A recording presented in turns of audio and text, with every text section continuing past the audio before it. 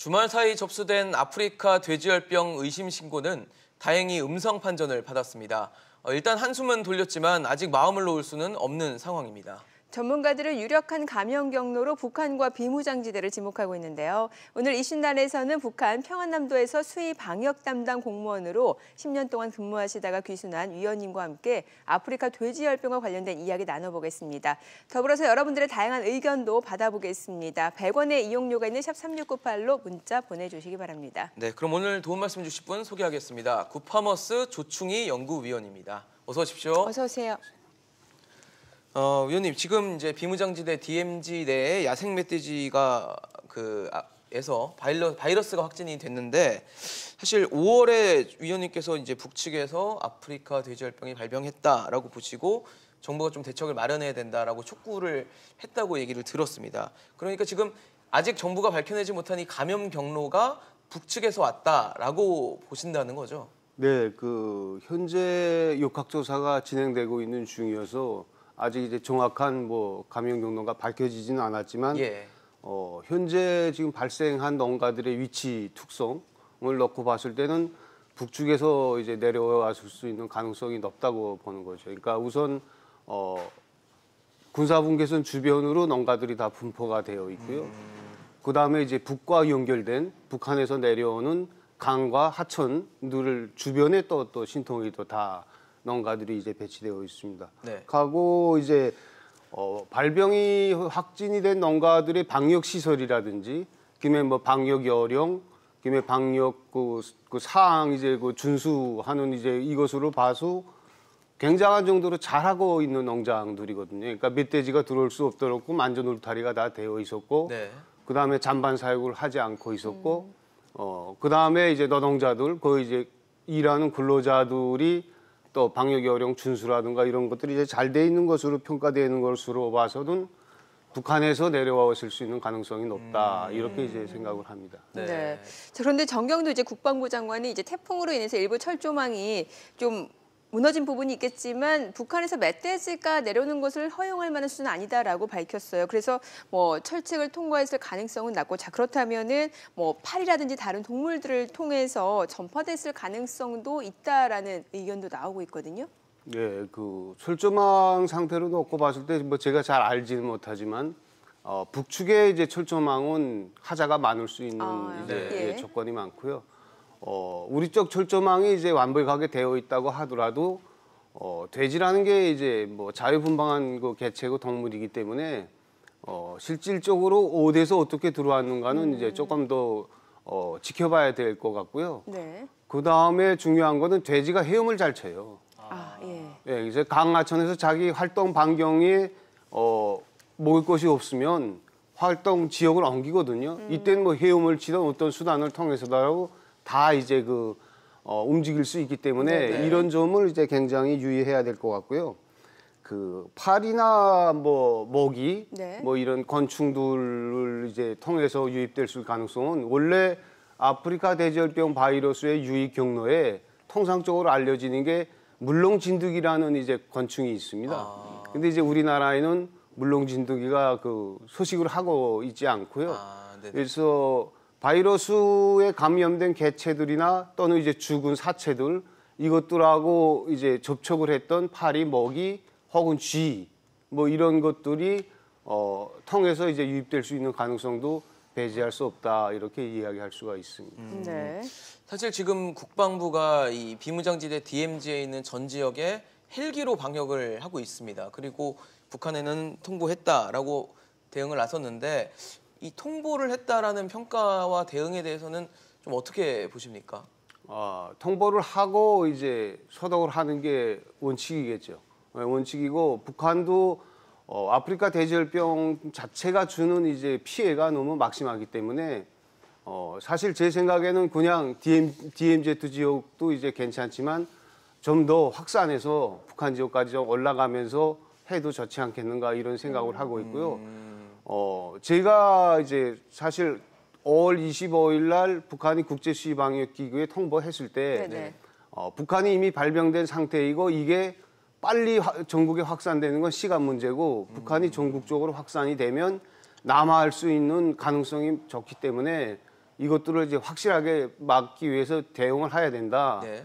어, 그렇게 이제 그 강조도 하고 이야기도 했는데 좀 누중감은 이제 없지 않아 있습니다. 그러니까 조금 이런 조치가 시기적으로 빨랐다라고 하면은 지금보다 조금 더 그런 양성 판정을 받은 농가 수를 더 줄였을 수도 있다라고 보시는 거네요. 예, 예, 그렇습니다. 예. 자, 아무튼 감염 경로로 지금 지목되는 북한하고 이제 비무장지대 방역을 뭐 완벽하게 하지 않는다라고 하면은 북한에서가 만약 감염 경로라고 하면은 재발 가능성도 충분히 남아 있다라고 볼 수 있는 거잖아요.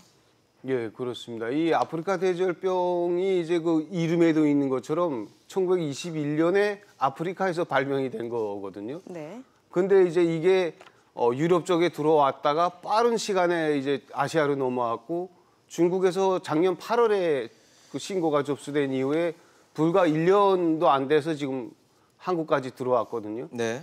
어, 이런 상황을 놓고 봤을 때 사실 북한은 지금 현재 전역에 다 이제 아프리카 대절병이 확산되어 있고 어, 이제 뭐 더축 제도라든지 어, 그다음에 방역 시설의 불비, 뭐 서독약의 부족, 뭐 이런 여러 가지 조건으로 어, 아프리카 대절병이 터차가 될 수 있는 위험성이 아. 있습니다. 그래서 이 터차가 되면 저희는 항상 지금과 같은 긴장 상태를 계속 유지해야 되거든요.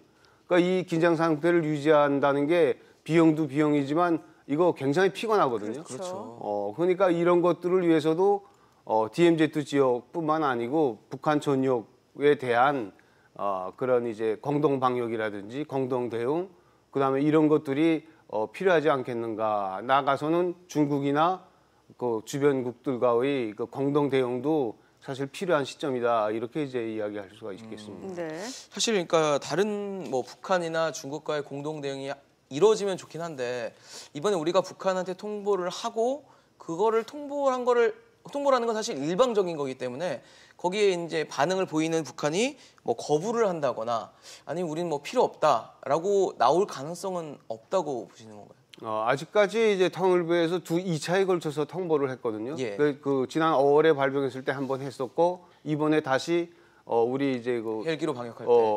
어, 아, 그 전에 이제 통보를 했죠. 네, 그 전에 한번 공동 방역을. 하자 하고 네. 통일부가 통보를 했는데 북한이 아무런 답변도 내놓지 않고 네. 있습니다. 그래서 저희가 확인한 바에 의하면 사실 북한의 수의 방역 전문가들, 그 축산 부문 전문가들은 이 아프리카 대절병으로 인한 피해가 너무 크기 때문에 네.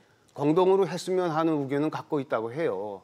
근데 지금 어 일부 그 정부 당국에서 북한 정부 당국에서 어, 여러 가지 뭐 사정이 있기는 하겠지만 저는 이제 아프리카 대절병과 관련해서는 이것이 미치는 그 국민들의 생활이나 또 경제에 미치는 영향이 파국적이고 너무 크기 때문에 네. 어뭐 이데올로기 뭐 감정 뭐 이런 거 다 내려놓고 어 사실 남북이 이거 합동 좀 해서 협력하고 이 대응하고 방역하는 게 중요하다 이렇게 생각을 합니다. 그래서 이런 지적이 나오는 것 같아요. 이 전문가 채널을 비롯해서 민간 차원의 협력 방안이 있는데도 불구하고 정부가 너무나도 이 북한과 협력에 손을 놓고 있는 게 아닌가라는 지적도 나오는 것 같아요. 아, 예. 정부도 뭐 사실 좀 안타깝겠죠. 예. 뭐 자꾸 문 두드려도 그냥 마이동풍이니까 뭐또 좋다 나쁘다 이야기도 안 하고 저러고 있으니까 안타깝지만 이게 이제 그냥 정부가 할 수 있는 게 이제 제한되어 있거든요. 네. 그래서 다양한 채널을 열어놓고 다양한 채널이 작동할 수 있도록끔 조건도 마련해주고 그 가능성도 이용하는 게 어, 사실 이 위험한 질병을 빨리 이제 그 막아내고 다시는 들어오지 않게 하는데 더 이제 그 효과적이지 않겠는가 이런 생각을 합니다. 네. 음. 사실 위원님께서는 지금 북한에서는 아프리카 대절병이 이미 전역으로 퍼졌다 라고 보고 계신 거죠? 예, 그렇습니다. 그래서 북한에서 이제 저희 경험으로 봐도 그렇고 네. 어, 실질적으로 어, 전국의 모든 곳에서 지금 다 확산이 되어 있고 최근에 그 국회 뭐 정보위에서도 이제 통보가 있었지만 평북도 지역에서는 돼지 기르는 집이 없다 아. 이렇게 지금 이야기할 정도인데 이제 북한의 축산 특징상 그 개인들이 키우는 돼지가 많아요. 네. 그래서 물론 우리도 개인이 키우지만 북한은 이제 가정들에서 아파트나 농가들 이런 데서 한 마리 두 마리씩 키워서 식량 해결을 위해서 키우는 집이 많은데 이것들이 통계에 잡혀 있지 않고 통계에 잡혀 있지 않으니까 방역 당국의 보호를 받지 못합니다. 아, 그렇겠네요. 그렇기 때문에 전국에 다 지금 확산되어 있고 그 피해가 계속적으로 지금 증가되고 있는 상황입니다. 음, 그러면 북한에서는 아프리카 돼지열병이 일어났을 때, 가 발병했을 때 어떤 조치를 취하는? 우리처럼 살처분을 하는 건가요? 아, 살처분은 북한은 안 합니다. 예, 어. 원래 이제 원칙은 살처분을 하게 되어 있는데 예. 살처분을 하지 않고 있고요. 과거 살처분을 하- 한다고 해도 이제 제가 앞에서 이야기했던 통계에 잡히지 않는 이런 돼지들이나 개인들이 키우는 이런 돼지들에 대해서는 그 장악이 안 되기 때문에 언제 어디서 어떻게 죽었는지 모르고 있거든요. 그렇네요. 어, 물론 이제 이번에 아프리카 돼지열병 발병해서 어, 국가적인 이제 비상 방역 위원회를 조직하고 뭐 우리로 말하면 도지사, 뭐 군수 이런 사람들이 책임자로 하는 그 방역 대책반이 만들어져 가지고 작동은 하고 있지만 어, 실질적으로 어, 그 효과가 그렇게 크지 않은 걸로 이제 알고 있습니다. 어, 그럼 살처분을 안 하게 되면은 뭐 시중에도 유통이 되는 건가요? 예, 예, 그렇죠. 아 북한에서는 예, 예, 예. 아, 그럼 실제로 먹기도 하겠네요. 예, 예, 먹지도 하죠. 그러니까 이게 또 이전에 구제역 발병했을 때도 다 먹었거든요. 아. 그때는 이제 제가 북한에 있을 때인데, 예. 어, 그때도 다 이제 식, 식용으로 사니까 100도씨에서 끓이면 네. 바이러스가 다 죽는다. 그러니까 익혀 이런- 먹으면 상관없다. 예, 예. 그래가지고, 어, 그 식용으로 이용하는 데 대해서 크게 주민들도 그렇고 당국들도 그렇고 전문가들도 이제 그게 거부 반응이 없습니다. 그러니까 사실 아. 어, 한국에서 살처분하는 것을 보고 아깝다고 생각할 정도로 이제 살처분에 대해서는 아. 먹을 수 있는 건데 왜 예, 살처분하는지. 예, 예, 예. 그렇게 생각하고 있는 편입니다. 조금 이제 그렇긴 하죠. 그래서 토착화 될 수 있다라고 보시는 거군요. 예, 예, 그렇습니다. 예. 아, 그러면 아프리카 돼지열병이 확산되는 거에 대해서도 물론 문제는 문제지만 그렇게 큰 거부감은 또 없을 거라는 생각도 들거든요. 아, 이제 확산되는 데 대해서 문제는 되어 있는데 이게 거부감은 있을 거예요. 왜냐하면 어, 우리도 그렇지만 북한도 주민들 단백질 공급, 그다음에 축산식품에서 돼지가 거의 70% 정도 차지하거든요. 그러니까 이 돼지고기가 차지하는 비중이 높고 또 이제 그 북한의 서해안 지역은 돼지고기로 인한 터질병도 있어요. 아, 예. 확이라고 해서 돼지고기를 못 먹으면 이제 피부가 부으면서 이제 어, 그런 터질병이 있어가지고 돼지고기에 대한 그 수요가 꽤 높은 편이거든요. 아, 예. 그래서 이게 조금은 이제 경제적으로 타격이 있기 때문에 어, 많이 걱정은 하고 있을 겁니다. 그러니까 어찌 됐건 아프리카 돼지열병 확산되면은 폐사하는 돼지들이 늘어나니까 공급 자체에 차질이 생기니까 그것 때문에 이제 그렇죠. 예. 어, 위기 의식은 갖고 있다라는 거군요. 예, 예, 그렇습니다. 근데 아까 의원님 말씀대로 국가에서 사실 관리를 하는 시스템이 안 돼 있고 개인들이 관리를 하다 보니까 집계가 안 되고 그게 또 관리가 안 되고 그래서 계속 확산이 될 수밖에 없는 여건인 것 같은데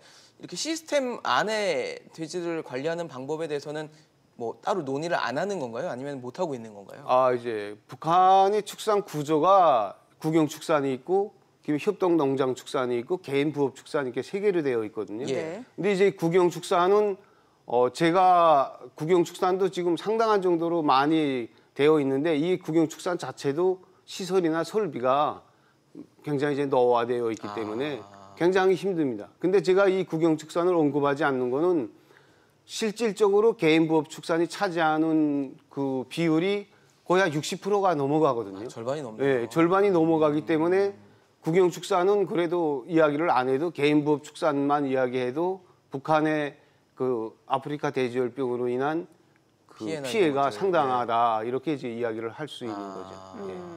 자, 뭐 아무튼 지금 우리 정부가 숨에도 시작을 했고 적극적으로 이제 살처분에 나서는 모습을 보이고 있는데 현 시점에서 가장 중요한 방역 조치가 있다면 뭐가 있을까요? 아, 현재 지금 우리 방역 당국이 초동 대응을 이제 굉장히 잘하고 예. 있다고 생각합니다. 그래서 물론 뭐 어제도 이제 이쪽에 충청도 쪽에서 막그 의심 신고 들어와서 예, 저 가슴이 좀. 섬찟섬찟하기는 네. 하는데 잘하고 있고 또 농가들도 이 아프리카 돼지열병이 주는 피해에 대한 심각성을 잘 인지하고 있어서 잘 대응을 하고 있는데 네. 이게 언제까지나 이런 우리가 비상경보 태세에 있을 수는 없는 것이거든요. 그렇죠. 그래서 제일 중요한 거는 유입될 수 있는 모든 가능성에 대해서 다 열어놓고 이 가능성에 대한 대책을 다 세워놔야 된다는 겁니다. 북한에서 뭐 중국에서 또 그 외 기타 다른 나라에서 들어올 수도 있고 이와 관련한 식품 수입이라든지 네. 어 그다음에 어 배합사료 자, 뭐 이거 뭐 옥수수라든지 대두라든지 이런 것들에 대한 모든 가능성들에 대해서 다 하고 아, 이게 들어오지 않을 수 있도록 방역해야 되는데 제일 중요한 건 북한이거든요. 이제 육로로 연결되어 있고 강하천은 지하수가 다 통화되어 그렇죠. 있기 때문에 예, 북한과의 공조에 좀 더 이제 그 힘을 좀 두는 게 좋지 않겠냐 그렇게 생각을 합니다. 네. 알겠습니다. 아프리카 돼지열병 확산과 관련해서 조충희 구파머스 연구위원과 나눠봤습니다. 감사합니다. 잘 감사합니다. 들었습니다.